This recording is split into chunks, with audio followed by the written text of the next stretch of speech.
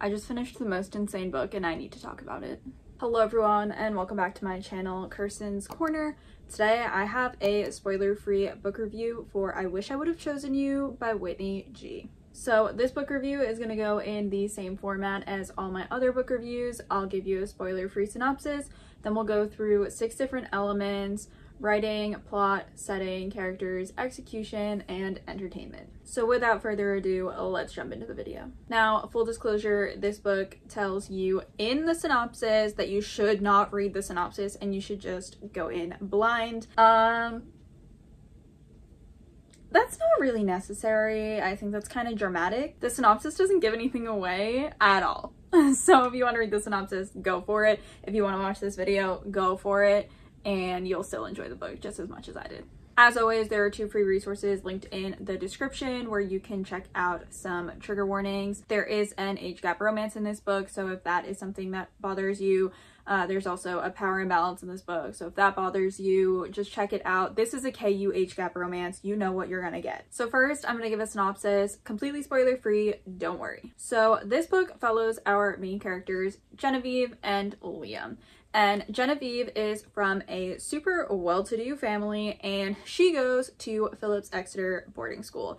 And I'm from New England, so I know Phillips Exeter. I know all about it. It is the school. It costs more to go there than it costs to go to my small liberal arts college that costs a ridiculous amount to go to. However, Genevieve is right. Genevieve is phenomenal at writing and Genevieve is literally getting privately tutored by a Harvard professor. So she is kind of bored at Exeter and to pass the time, to pass the years, because she has no friends at school, because she honestly, she thinks she's better than everyone there. She sneaks off campus and goes into Boston all the time. One day when she goes into Boston, she meets this guy. And of course, she's getting into these bars in Boston by lying about her age. She has a fake ID.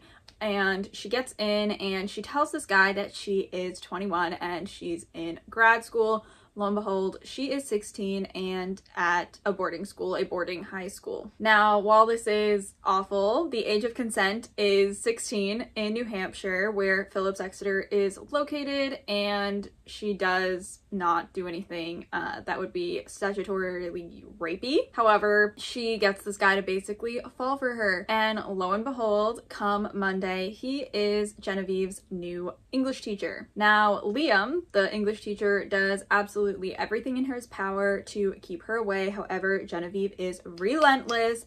Girl goes after what she wants or what she thinks she wants.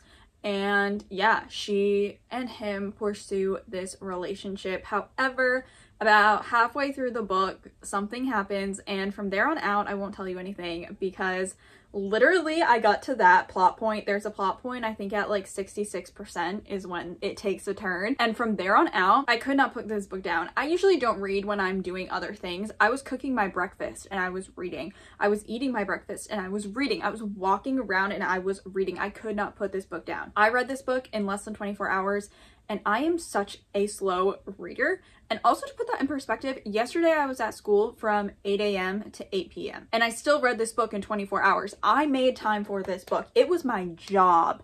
I was dedicated. I put in the work, okay? I was reading in class. I neglected my studies, which let's, I'm, I do that anyway. Like this, that's not, it's not special. Incredible. I couldn't put it down. And it is your classic teacher-student age gap romance. That's my thing. I love an age gap romance. Age gap romance is my favorite trope by far far and away. I have an entire video recommending age gap romance books I just love, okay? I know that that is wicked controversial and a lot of people think that it's just terrible.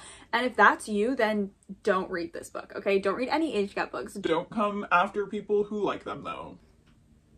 So the first category is characters and truly we don't have that many characters.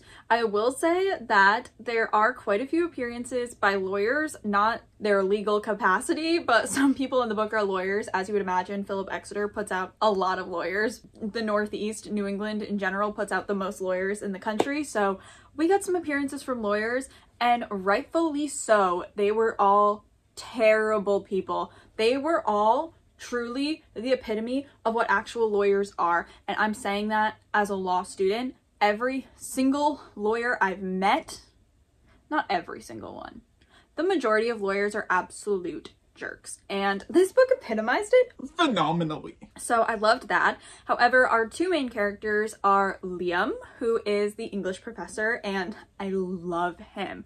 Granted, he was more of a plot device to learn more about Genevieve. I love Genevieve. Girl went through it in this book, okay? Girl went through it and I empathize with her so much. She's also so dramatic and if you know me in real life, I am I feel all the feelings, okay? I'm quite dramatic. I'll forget one thing at school and I'll be like, well, it's time to go home, okay? So that's, I love her. I love Genevieve.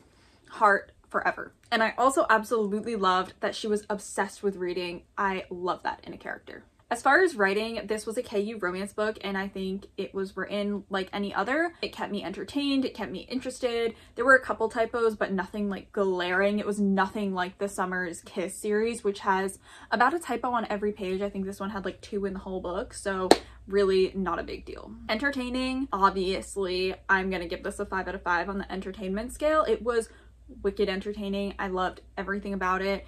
Um, I could not put it down and I am very easily bored. I am literally an eight-year-old boy. I need to be entertained at all times and this book did that. So props to Whitney G. As far as the setting, it took place everywhere that I knew like they were talking about the Amtrak, the T, everything. Absolutely love South Station, Red Line, Green Line. Like I knew these places, okay? The Prudential Center, I knew these places. These were places that I've stepped foot in. So it was incredible reading about them. Loved it. Phillips Exeter is notorious in my neck of the woods in New England. Everyone knows about it. It's where the richest of the rich go, the best of the best, everything love. It is the most prestigious boarding school in all of New England. And let me tell you, the amount of boarding schools that we have here is ridiculous. So that's saying a lot. So I have execution and plot. As far as execution, 10 out of 10, absolutely incredible. The author did exactly what she wanted to do. She created an incredible story and executed an incredible age gap romance. And that's coming from someone who reads so many age gap romance books. And then finally, plot boy was their plot. And especially after that twist at 66% 10 out of 10 100 love like fantastic okay? So overall this is my new one of my new favorite age gap romances uh the balance series by lucia franco confidence of wildflowers by macaulay smeltzer and now I wish I would have chosen you by Whitney G. Absolutely love. Obsessed. So that's that on that. If you love age gap romances, check it out, please. Let me know in the comments down below if you have read it or if you plan to read it. If you got this far in the video, leave a purple emoji down below to let me know that you watched it. Thank you so much for watching, for continuing to support my channel, and until next time, happy reading. Bye.